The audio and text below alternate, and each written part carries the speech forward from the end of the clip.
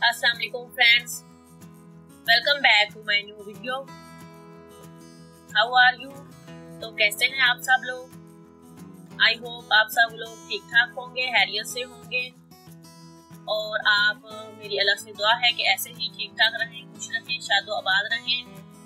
आज की वीडियो में आप ईद के ड्रेस कलेक्शन देखेंगे। बहुत ही ब्यूटीफुल और स्टाइलिश है और आई होप आपको पसंद आएगी।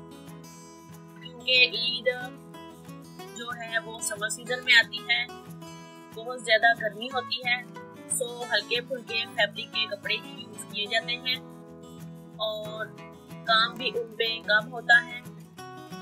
सो इनमें आपको हल्के फुल्के भी दिखाई देंगे, थोड़े काम वाले भी दिखाई देंगे बॉर्डरी वाले यानी और शॉर्ट कुर्तीज भी हैं लॉन्ग कुर्तीज भी हैं।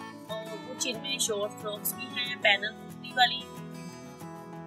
सो so, अगर आप मेरे चैनल पे नए हैं और आपने मेरे चैनल को सब्सक्राइब नहीं किया तो प्लीज़ मेरे चैनल को सब्सक्राइब कर लें और साथ में लगे बेल के बटन को भी प्रेस कर लें ताकि मेरी आने वाली वीडियो का नोटिफिकेशन आप तक पहुँच सके और आप इजीली सबसे पहले मेरी वीडियो को देख सकें एंजॉय कर सकें आइडियाज़ ले सकें।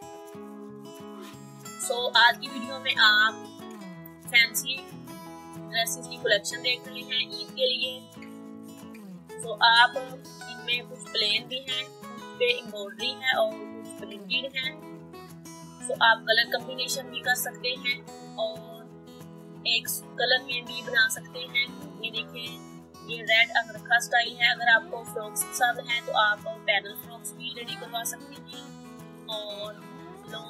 या शॉर्ट अंगरखा स्टाइल में भी रेडी करवा सकती हैं। ये देखिए ये लॉन्ग कुर्ती है शरारे के साथ और एक मैक्सी टाइप है फ्रॉक है। सो आप लॉन्ग कुर्ती इस तरह भी बनवा सकती हैं टिश्यू फैब्रिक की नेट फैब्रिक की, या सिल्क के फैब्रिक की। साथ प्लाजो या शरारा यूज़ कर सकती हैं। चूड़ीदार ये पजामे के साथ है। लॉन्ग फ्रॉक सिंपल साथ गोटा पट्टी सिल्वर यूज़ की गई है। प्लेन फैब्रिक लेकर आप इस तरह का डिज़ाइन भी बना सकती हैं so, ये देखिए ये एम्ब्रॉयडरी वाला है अगर आपको एम्ब्रॉयडरी पसंद है तो आप वो भी यूज़ करवा सकती हैं हल्की फुल्की।